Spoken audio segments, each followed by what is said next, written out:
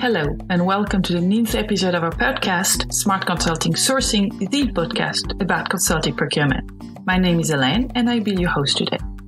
Each week, I'll give you the keys to better use, manage, and source consulting services. In this ninth episode, I'll explain how to negotiate a consulting agreement. Last week, I explained how to select the right consultant. Now you have a proposal that you think answers your needs. You can start negotiating the first thing you need to do is prepare. But why prepare exactly? Well, let's go back to the goal of the negotiation. We want to find a satisfying agreement for both parties, right? And how do you buy a satisfying agreement exactly?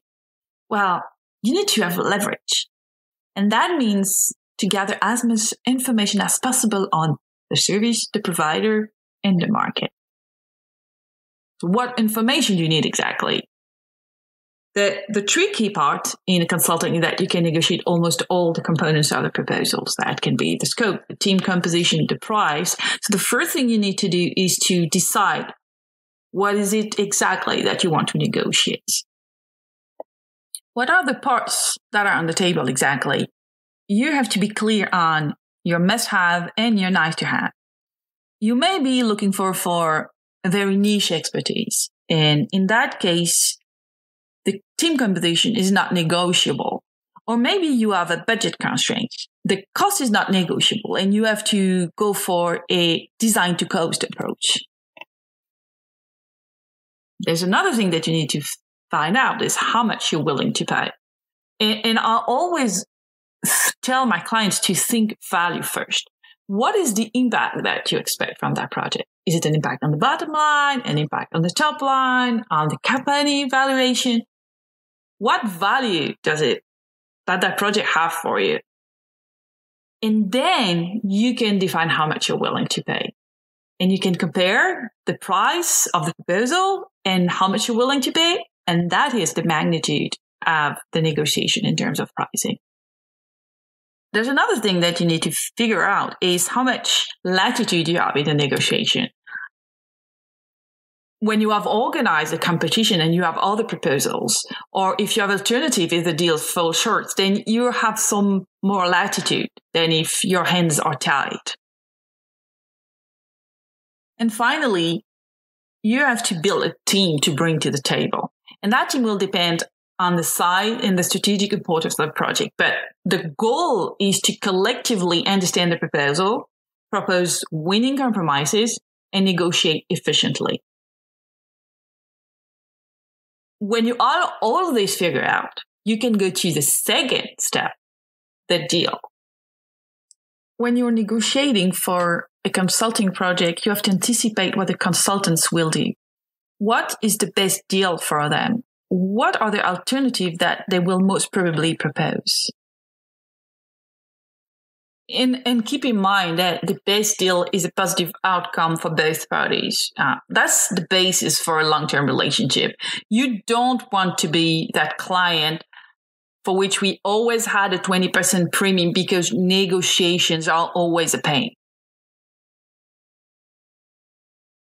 Again, you know, this is a difficult negotiation because you have multiple dimensions. And in that context, you know, the the BATNA, the best alternative to a negotiating agreement, and ZOPA, the zone of principal agreement, are concepts that can be really handy.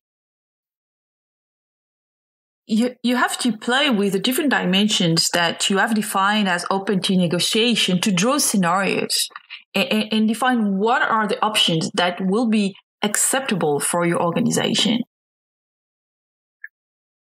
it's also important to understand how the change in the scope and team staffing will impact the price so you can really understand the dynamics in that project. And you need also to identify the trade offs that you're willing to accept. But at the end of that process, if the price is still too high, you can look at the uh, some saving opportunities. There's some, for instance, you have the travel expenses, um, you can always either cap the travel expenses or um, include them as an all inclusive pricing. So you keep them under control. You can also look at the expert staffing. Do you really need all those experts? Uh, and do you really need all the time that has been allocated to the project? One third um, saving opportunity is on the ramp up, ramp down staffing. It's it's rare that you need hundred percent of the team day since day one. So maybe if you kind of stretch their onboarding on a few days, then you can save some some uh, some money as well. At some point, you will be ready to close the deal, and and it's extremely important to draw a consulting agreement based on the content of the proposal. And you need to make sure that the main parts are there. In particular, the deliverables, the timeline, and the team composition. Another thing that is extremely important is to debrief the other consultants, you know, the ones that lost the project. And why is it so important is because this is the only way for them to improve the way they sell. You know, that the best consultants, the one that deliver the best quality work are not always the best sellers and vice versa. So if you can give them some feedback on how well they did, maybe for the next client, they'll do a better job and they'll earn more project.